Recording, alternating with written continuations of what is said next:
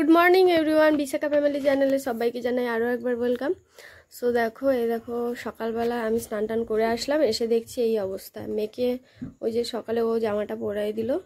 পরিয়ে দিয়ে এবার আমি বললাম যে, বাজারে তো কিছু নেই, বাজার টাজার করতে যেতে হবে, তো আমি বিছানাটা পরে গুছাবো।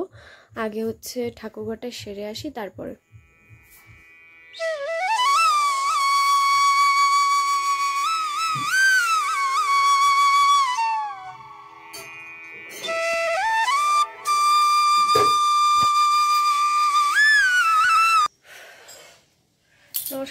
বন্ধুরা, তোমরা সবাই কেমন আছো? আশা করছি তোমরা সবাই খুব ভালো আছো, আমিও ভালো আছি। রাতের বেলা এই যে রাতের বেলা বলব না, কালকের সব জামা কাপড়গুলো ধুয়ে না এখানেই মেলে দিয়েছি সিঁড়িঘরে, কারণ কালকে প্রচণ্ড পরিমাণে বৃষ্টি হয়েছে যখন জামা কাপড়টা কেচেছিলাম আর আজকের হচ্ছে এই দেখো, এগুলো সব রাতেই মেজে রেখেছি। এই যে বৃষ্টির জলে বালতি, ড্রাম সব টইটুম্বুর ছিল, তো ওই জলেই একেবারে মেজেই রেখেছিলাম। আর এখন বাজে তোমার আটটা। তো আমার এখন আমি ভিডিও এডিট করব, তারপরে ঘরটা গুছাবো, ঠিক আছে? ভিডিওটা এডিট করতে দিয়ে না, এডিট করে রেখেছি, রাতে এডিট সরি, ভুল হয়ে গেছে। এডিট নয়, থামনেল বানাবো। তো থামনেলটা বানিয়ে তারপরে এই বিছানা টিছানা গুছাবো আর তোমাদের দাদাভাই গেছে বাজারে, বাজার কিছুই নেই। ওর জন্য বাজারে গিয়েছে আর ঘর দুয়ারের খুব খারাপ অবস্থা এখন আর দেখালাম না। পুরো গুছিয়ে নিয়ে তারপরে দেখাবো, নাহলে অনেকটা বড় হয়ে যাবে ব্লগটা ঠিক আছে? সারাদিন তো পড়েই আছে আরও অনেক কিছু দেখাবো এর জন্য। এ দেখো, বিছানাটার এই অবস্থা আর এই কোনটার এই অবস্থা, ঠিক আছে? আর এই দিকটার এই অবস্থা। তো পুরো অল টোটাল ঘরটা গুছিয়ে, ঘরটার মুছে তারপরে ফিরে আসছি। দেখো বন্ধুরা, একদম কমপ্লিট ঘরটার এই যে ঝাড়ু টাড়ু লাগিয়ে ঘর গুছিয়ে একদম। আর এই যে মগটা আজকে মাজবো গো। মগটা কদিন ধরেই মাজবো মাজবো করে মাজা হচ্ছে না, কারণ মানে যখনই মাজতে নিই দেখি এর মধ্যে জল আছে। তো সেই নিচে গিয়ে তো মাজতে হয়, এর জন্য ঠিক সময় হয়ে ওঠে না তখন জল থাকে আর কি। চলো এটা মাজবো আর ঘরটা তো পরিষ্কার হয়ে গেছে আর এই দেখো ঘরের সামনেটা কতটা পরিমাণে এই যে জল জমে আছে তো এই জলগুলো ঝাড় দেবো দিয়ে পরিষ্কার করব এই ঘরের সামনেটা পুরোটা। আর এইখানে সব জামা কাপড় যেগুলো কাচতে হবে এখানে সব রেখে দিয়েছি কটা ভিজিয়ে দিয়ে আসব। এই যে তোমাদের দাদাভাই বাজার নিয়ে চলে এসেছি আর আমি ভাতটাও চাপিয়ে দিয়েছি। এই যে কুমড়ো মেয়ের জন্য না আমাদের জন্য? সবার জন্য।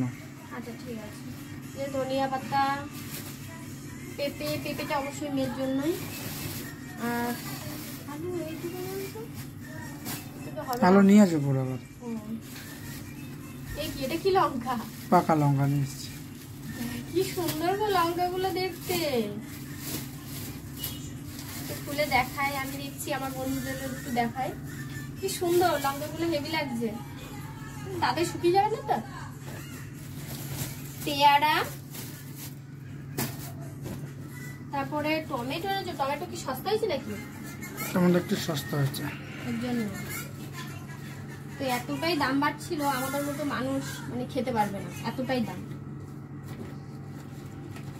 অনেকগুলোই টমেটো এনেছে। এবারে কিন্তু সব ঢালতেই হবে কিছু করার নেই এরকম করে বের করা যাবে না। তো প্রচুর বাজার নিয়ে চলে এসছে, আবার পটল পটল পটল পটল। তো গাটি কচু তোমাদের দাদাভাই খেতে খুবই ভালোবাসে এর জন্যই মনে হয় গাটি কচু এনেছে। গাটি কচুগুলোর গায়ে প্রচুর মাটি আছে, এগুলো আলাদা করে ধুয়ে একটু রোদে দিয়ে রাখব। তাহলে আর যখন রান্না করব তখন বেশি খাটনি হবে না। শশা আছে, ঝিঙে আছে, বিনস আছে গাটি কচু আছে, আর ভেন্ডি আছে, তারপরে উচ্ছে আছে। তো এই বাজার। আর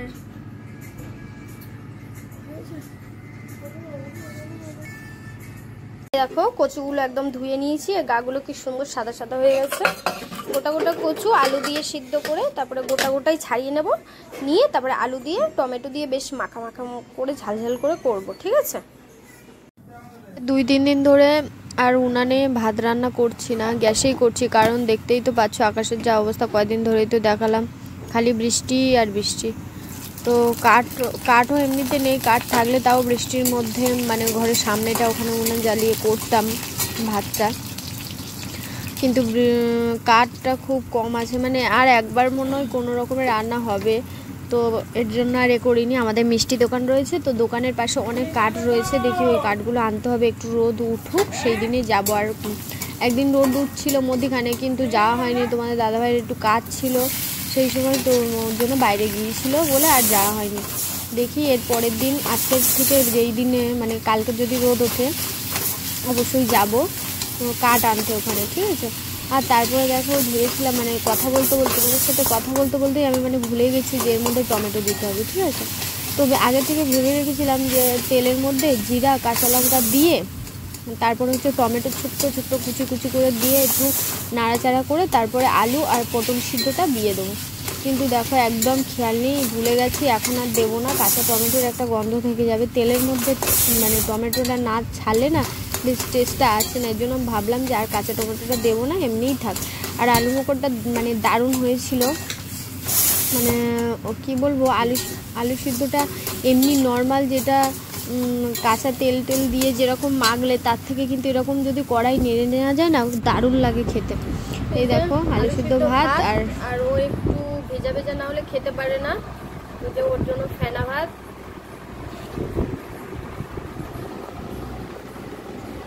এই যে বন্ধুরা দুপুরে এখন তিনটে বাজতে পাঁচ মিনিট বাকি এখন হচ্ছে ভাত বাড়লাম ঠিক আছে?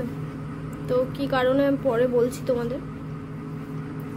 কিছু থামনেল দেখেই নিশ্চয়ই বুঝতে পেরেছ। তো এই কারণে আরও বেশি দেরি হয়ে গেল। তো দেখো কি কি রান্না হয়েছে, তাহলে দেখিয়ে নিই এইটা হচ্ছে হেরেঞ্জা শাক, আর তারপরে হচ্ছে, এটা হচ্ছে আলু ভাজা, তারপরে বেগুন দিয়ে, ডাটা দিয়ে, আলু দিয়ে, একটা হচ্ছে পাঁচ সবজি।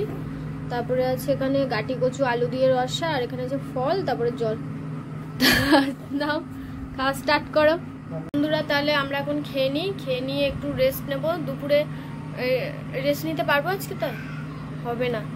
তো চলো রেস্ট আর নেওয়া হবে না। ওই ভাত টাত খেয়ে আবার রেডি হব। রেডি হয়ে আবার রিলস বানানো আছে। ইউটিউবে ফেসবুকে ফেসবুক পেজে ফেসবুক প্রোফাইলে আবার ইনস্টাগ্রামে তো চলো, অনেক দেরি হয়ে যাবে। আমরা এখন ভাত টাত খেয়ে তারপরে রিলস টিলস বানিয়ে একেবারে মানে দেখি কখন দেখা করতে পারি তোমাদের সাথে ওই যে ওর বিকালবেলা কেটে গিয়েছে। বাবান বাবান, আসতে। ওঠো ওঠো ওঠো, একটু দেখাই একটু দেখাই সবাইকে কিরম। ওঠো।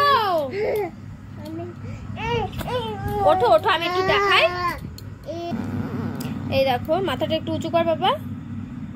দেখি, একটু দেখো, এই দেখেছ? যে কেমন কাটছে। তখন না, যখন কেটে গেছে, স্নান করাতে নিয়ে গেছি দুপুরবেলা।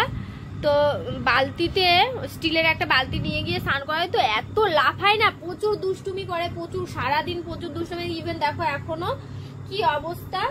মানে দুষ্টুমি করতেই থাকে সারা দিন এরকম চলে, তো স্নান করাতে নিয়ে যায়। এত লাফায় এত লাফায় আর স্নানটা পিছল হয়ে গেছে তো। লাফাতে লাফাতে পড়ে যায় এই জন্য এক মগ করে জল ঢালি, ওর হাতটা আমি চেপে ধরে থাকি, এত লাফায়, পড়ে যাওয়ার ভয়ে।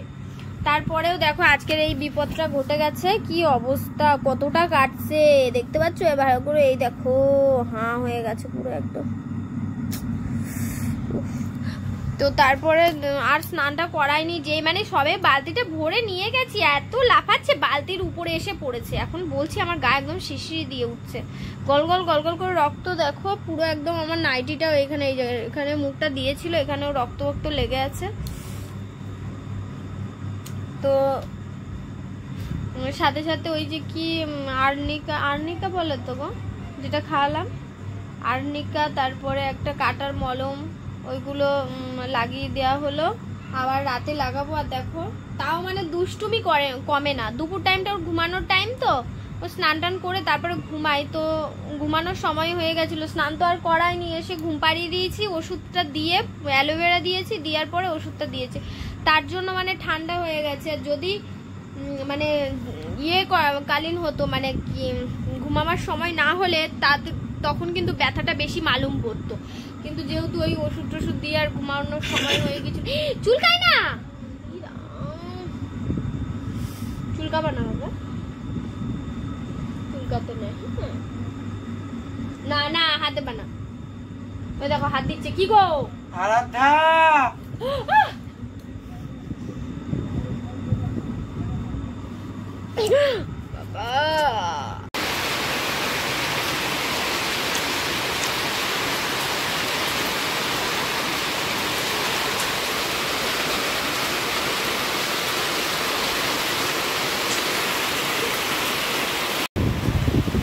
বাইরে মুষলধারে বৃষ্টি আর এরকম গরম গরম আলুর পরোটা, কার না ভালো লাগে? তোমরাও চলে এসো বন্ধুরা, কিন্তু তোমরা যদি কাছে থাকতো অবশ্যই দিতাম গো। যেহেতু নেই তো আর আমরাই একা একা খেয়ে নিই। তো দেখো এই যে আলু আর ওই যে কচুর রসা একটু ছিল আর অল্প কয়টা এক মুঠ মতো ভাত ছিল। ভাত আবার ফেলতে আমার খুব মায়া লাগে। তো এর জন্য আগে থালাতে ভাত খেয়ে নিয়েছি। এর জন্য থালাটা দেখো কেমন একটু ইয়ে মতো লাগছে না? মানে কী বলব, ভাত খাওয়ার পরে যেরকম লাগে আর কি। তো তার উপরেই পরোটাটা নিয়ে নিয়েছি। ঠিক আছে? তো আজকের মতো এই পর্যন্ত। তোমরা সুস্থ থাকব ভালো থাকব ফিরে আসছি নেক্সট ব্লগে আজকের ব্লগটা তোমাদের কেমন লাগল প্লিজ আমাকে কমেন্ট করে জানাও। ভালো লাগলে লাইক কমেন্ট শেয়ার করে দিও। ভিডিওগুলো দেখো আর লাইক করো না কেন তোমরা। Tata guys